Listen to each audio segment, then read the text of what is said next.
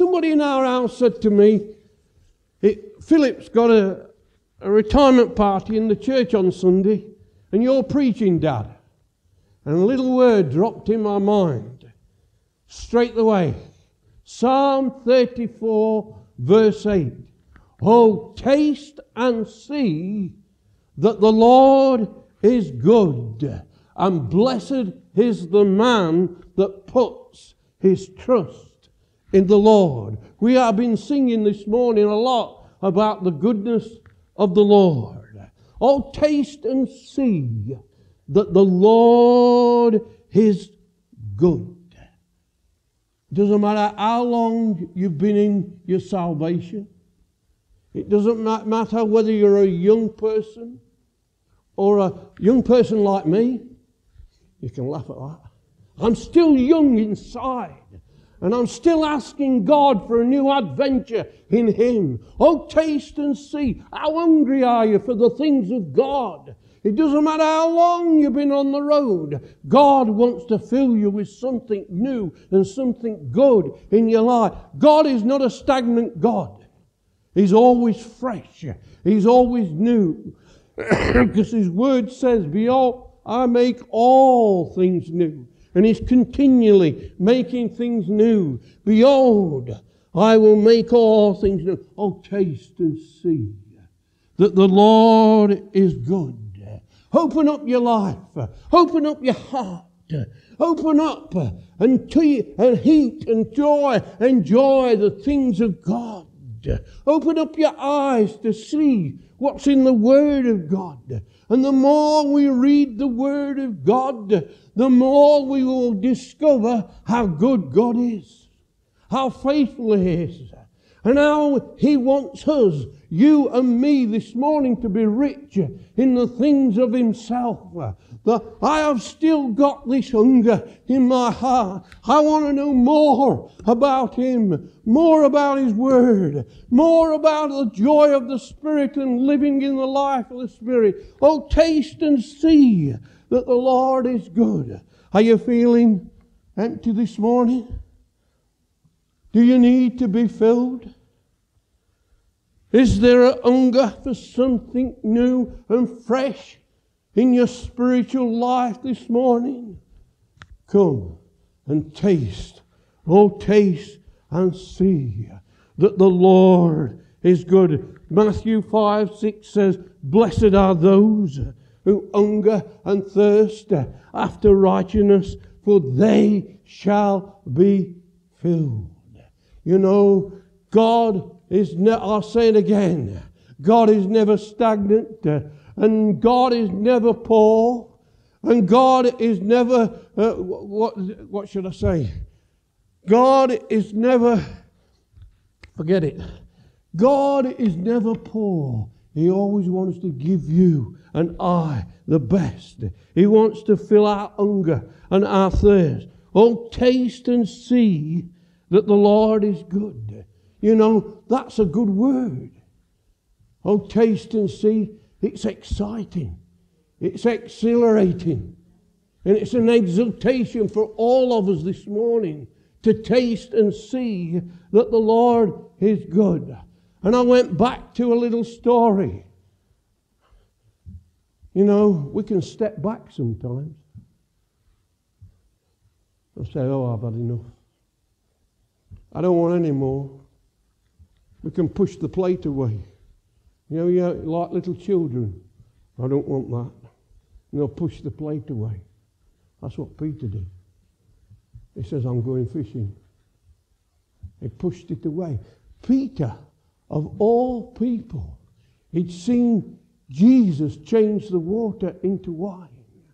He'd seen him meet the need of 5,000 people. He'd seen the blind eyes open. He'd seen him, he'd seen him when he'd fall, that the Lord had picked him up, and he still walked on the water with the Lord. And at that time, he could say, I'm going back to my old life. I'm going fishing. There's a little little line in that, and it says, and they caught nothing. Nothing. He had nothing to feed himself with, and he had nothing to feed others with. And sometimes we can make our mistakes, and we can turn our back. And like I say again, we can push the Lord to one side. And when things come along, we have nothing for ourselves. And we have nothing for anybody else. Not for our loved ones, not for our families, not, not, not for our church, not for our people. We can say we don't want, push it away. But you know, I'm glad about Jesus. He was waiting. Peter and the rest of the disciples that went with him was hungry. They were cold. They were weary. They were despondent. I don't know how Jesus got to the, to the beach. He may have walked on the water again. But there on the beach, oh, I like this, there was a fire. There was fish. There was bread to those that are hungry. And he satisfied them all. You know, have you ever been to a bakery and come out with a fresh loaf just out of the oven? Well, where I lived in Thringston, there was a bakery called Maloney's. My mum sent me for a fresh loaf to just come out. of course, I put my hand in it and put my hand straight through it because it was so fresh.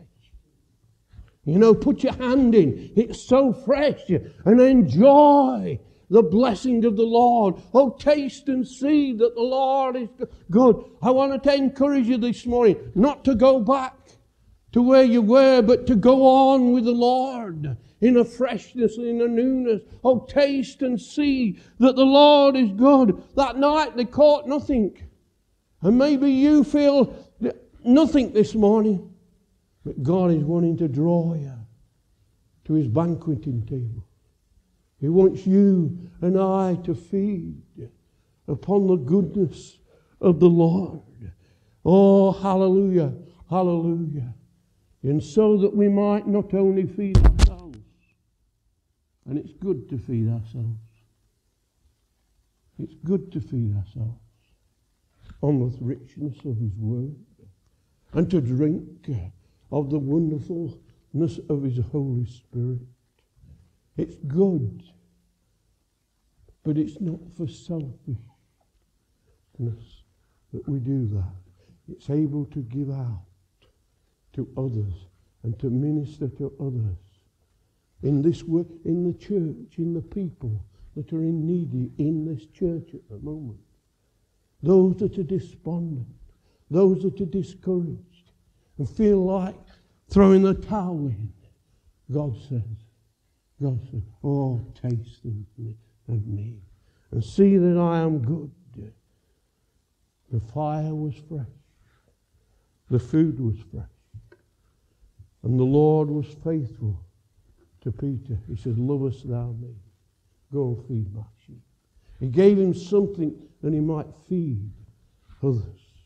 Oh, taste and see. What an invitation. Jesus said to those disciples, Come and dine. The little chorus says here, Come and dine.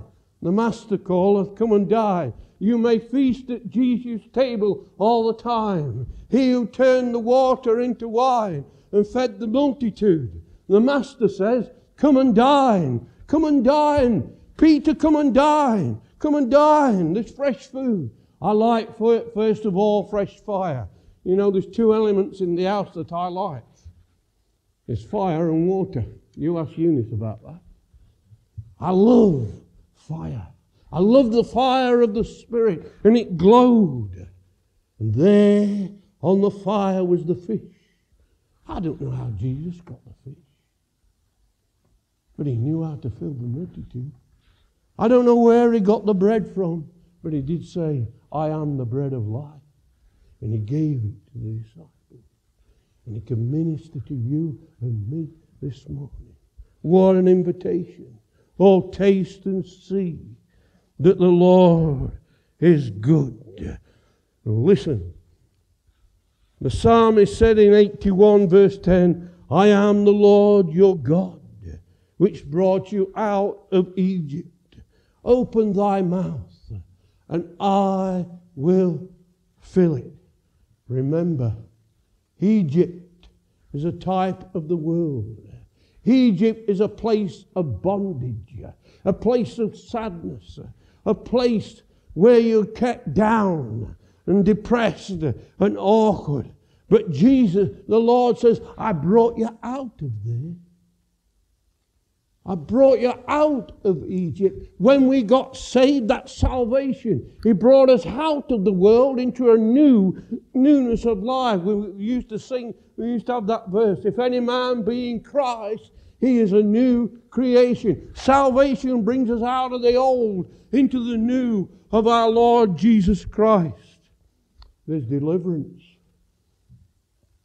Because when uh, the children of Israel came out of Egypt, he delivered them from their bondages and set them free. Hallelujah. And you know why they came out of Egypt? How they came out of Egypt?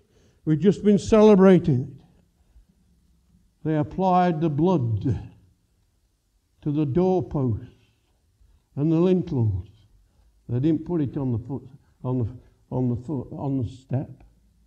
You don't walk over the blood of Jesus. It's something precious. It's something wonderful. But he put it over the doorpost and the lintel, and we, they walked out. There was deliverance for the children of Israel. There was a fulfillment. They had been enjoy- as they went out of Egypt and went into the wilderness. There was manna every day. Every day, fresh manna, fresh manna. God was good to the children of Israel. Oh, taste and see that the Lord is good. Is good. When God wants this wonderful salvation, I enjoy it every day. When I look around the world and I see people I hate I talk to people that don't even know God, don't want to even know God. But thank God I know Him as a personal Savior. And I can enjoy the communion and the fellowship. And I can taste the richness of His love and His grace and His mercy. Oh, taste and see that the Lord is good. You know this verse, and I'm going to say it again. Open thy mouth, and I will fill it. That's but not, not for novice preachers. God's got to fill your heart before He can fill your mouth. You may not like what I've said, but that's true. You know what it meant to open your mouth? It was someone to go by a king. And as they went by the king, he'd say, Open the mouth, and he put jewels in it. He put food in it. He put drink into it. And they would enjoy the luxuries of what the King has given them. Open thy heart, open thy mind, open thy life unto Him. Oh, taste and see that the Lord is good, and He will give you more than what you ask for. Oh, hallelujah. They came out of Egypt. And I like that little line. And they spoilt Egypt by leaving it. They got 400 years back pay. They took the jewels and the crap and the gold. And as they went out of Egypt, they didn't go out empty handed. God is a good God, and He won't leave you empty handed as you come out of Egypt and come walking with the Lord in this salvation and tasting the riches of goodness of God. He will not leave you empty handed, but He'll fill your life to overflowing. Oh, rejoice this morning in your wonderful salvation. For whosoever findeth me finds life. My old friend Dan Matt Vickers used to say, if my religion was dead, I'd find a new religion. He used to say that often. Whosoever findeth life findeth me. Hallelujah. And findeth life and obtains the favor of the Lord. Do you know, you that know the Lord this morning, you're in favor with Him. You're in favor. You're in favor with Him. Whosoever findeth me findeth life. The world is looking for life. But I've got it.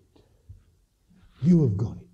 That know the Lord Jesus Christ as your Savior. And you found favor with an Almighty God. We've just been celebrating again. I just read something and I danced. When Christ shouted, It is finished, it was never finished for us. Because it's a continue. It was open the door to all the riches and all the blessings and all the goodness of God. Christ shouted, It is finished, but it's never been finished for us because we can enjoy all the pleasures of what Calvary brought to us. Oh, discover the life is found in tasting of the goodness of the Lord. Song of Solomon said, I sat down under his shadow. I sat down under his presence with great delight. And his fruit was sweet to my taste. He brought me into the banqueting house, and his banner over me, his love. He sat me down. That's a place of rest, a place of restoration. And he brought me in, and I tasted the fruit. The fruits of God are sweet. The word of God is like honey. I like honey.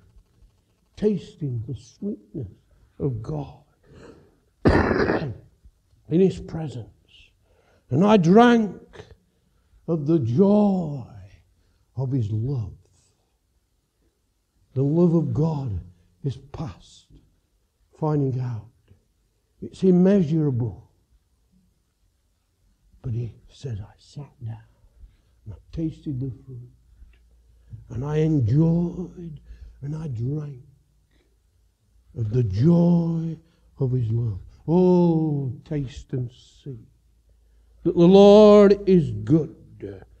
The drawing power of his love brings us into a banquet of rest and peace and love within the pavilion of our wonderful Lord Jesus Christ. Oh, taste and see that the Lord is good. Two little verses in Jeremiah. One of these verses, a few years ago, walking across, there's a wide road in London now. and this verse came to me. Jeremiah 31 14. I will satiate the soul of my people and shall satisfy them with my goodness. As I was putting this word together, and as I read this, I remember walking down that road in Llandudno and I danced. I will satisfy the soul of my people and shall be satisfied with the goodness of the Lord. What does that satisfaction mean? And another verse in that same chapter says, I will satiate the weary soul and I will replenish every sorrowful soul. I will refill it with something better. And that word replenished, just before I got out my car, I was looking through my word and it caught my eye again. Replenished, refill. In Genesis 1:28, that word is used when he, he created Adam and Eve, and he said to Adam and Eve, it's in the King James Version, not in any other version. King James Version, go and replenish. Go and refill that which I've created. Go and refill. And what a mess they made of it. We're here today. All have sinned and come short of the glory of God. but they went and replenished. And again, in Genesis 28, verse 1, when the floods and all have been drowned, in Noah, when he stepped out of the ark, God said to Noah, Go and replenish the earth, refill it again, refill it again. And I want to say this this morning. He wants to satisfy you. He wants to replenish that. God doesn't want you to keep your, I nearly said your bread stale. God is never stale. He wants us always to be fresh in Him. I will satisfy. I will replenish the sorrowful. What a wonderful, wonderful thought that is this morning. You replace it and replenish it with His joy, with His blessing, with His strength, with His salvation. You can open up your eyes and see God doing something for you personally. He's taking out the sorrow. What's that verse in Proverbs? He says, There's no adding to sorrow, but God gives joy and peace. All taste and see that the Lord is good. Are you weary? Are you tired? Are you on the job to find strength? And there's sorrow in your heart. God says there's healing. There's healing for you and me this morning. There's healing. Let the healing of His presence come right into this service and just minister to you this morning. And as you taste this love, the goodness of God, the healing of His presence can come right in.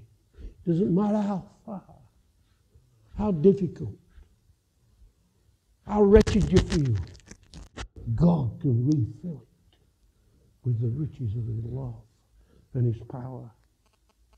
1 Peter 2 says, If so be you have tasted that the Lord is gracious, feed on the goodness of the Lord and keep your trust and your faith in Him. Excuse me. Keep your trust. Hang on. Grasp it. And keep your trust and your faith in the Lord. The circumstances may be difficult. The circumstances may be beyond what you're thinking and you can't cope with it. But keep your trust in the Lord and keep feeding on the faithfulness of God, and He will strengthen your faith that you may go forward in Him. And they shall be abundantly satisfied with the fullness of the house, and you will give them to drink of the river of your pleasure. There's three things in the Word of God there's a well There's a river and there's a fountain. And every one are to do with the freshness and the fruitfulness of God. You know, the woman at the well, I learnt something a fortnight ago, and it threw me, this did. You know, Jesus sat on the well of Jacob. And it is a woman that have tried love five times. And that, gel, that well represents where Jacob fell in love with Rachel. It was a well of love that Jesus was sitting on, waiting for the woman that felt unloved, unsatisfied. And here's the my Lord, I must needs go through Samaria. And there it's on the well of love. You know this morning, He loves you. He loves you. And He sits and He waits. And there's that lady. You know, a heart was more empty, and more heavier than the pot she was carrying. It was more empty and more heavier than it had ever been in her life. And she, she never knew that she was going to meet my Lord. She never knew that she was going to hear the words of love, the words of satisfaction. And she come down with a heavy heart, and she laid everything before the Lord, I have no husband. I have no one that really cares for me. I have nothing. And Jesus says to her, Give me a drink. Sir, you have nothing to draw with. And the well is deep. It was well over 175 to 100 feet deep. You've got nothing. You've got nothing to offer me. But he sat on the well of love. And he opened up. He opened up to her. They shall be abundantly satisfied. She was satisfied. Jesus said to her, If you knew the gift of God and who it is that says to you, Give me to drink, you would ask of him, and he will give you water, living water. Hallelujah. Oh, taste and see that the Lord is good. You may be feeling like Hagar. Abraham cast out Hagar into the desert. He gave her a bottle of water and some bread. You know, your bottle could fall, can get empty. Empty with your failures. Empty with your tears empty with your sorrows, empty with your fear. But you know what the Lord did? He turned it around and He showed her a well. A well that restored life to the child and to her. And not only that, he spoke to her and gave her a word of prophet. Your son will be a great nation. And when we come to the well of God, God will speak fresh words to us words of comfort, words of exultation, even a word of rebuke sometimes. And we don't like that, do we? I don't know I ever told you. I got up one morning, I started to uh, pray, not preach. I'm always doing that. I'm preaching in my dream the other day, uh, uh, in the night, the other night. And I, I was waiting on the Lord and I was asking the Lord about about a need. He says, You don't want me to answer that, do you? He said, Just worship me. Because sometimes we can pray, and God says to us, uh, I'll send weakness afterwards. I won't send blessing. If I answer that, your road, it won't come that road. It'll, it'll do more harm than good. And it shook me. It shook me. Oh, taste and see that the Lord is good. Sometimes I believe that the people of God have lost the heart of worship. Privately, publicly, and not just all churches. We can bang the drums, we can play the music. But God wants, like the woman spoke at the well, they that must worship God must worship Him in, in spirit and in truth. Learn to worship the Lord. Learn to worship the Lord in private. And I'll tell you that if you learn to worship the Lord in private, in spirit, and in truth, you'll come into the church and the pastor won't know what to do with you because you'll set the church on fire. Sorry, Chris. All taste and see that the Lord is good. For with you is the fountain of life, and in your light we see light. What a challenge. How hungry are you? Are we thirsty for the things of God? I'm going to say something now. Philip knows what I'm going to say. I didn't tell him what I was going to say, but I told him I weren't going to hit it. I'm not hitting out. God doesn't have tea parties. God has revival. Because God is always revival. And if ever, if ever we get down, I have learned to, to revive ourselves in the things of God. God wants to revive us afresh. But how hungry are we? How hungry are we? How thirsty are we? It only comes by one way obeying the word of God and prayer. Prayer. Pray without ceasing. Seeking God for fresh revelation, for fresh food from His word, and a fresh drink from the river of life and from the pleasures of God, not from the pleasures of the world. I'll taste and see that the Lord is good. Blessed is the man who puts his trust in the Lord. I'll go back to one thing. You may be weary. Jesus comes, bringing life and gladness all around. His heavenly guest banish unbelief and sadness and changing our weariness into that rest. Oh, taste and see that the Lord is good. Try it. Experience it. The fullness of God.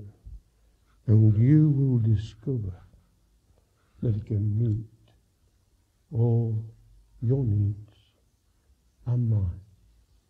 Oh, taste and see that the Lord is good, and blessed is the man that puts his trust in him. Amen.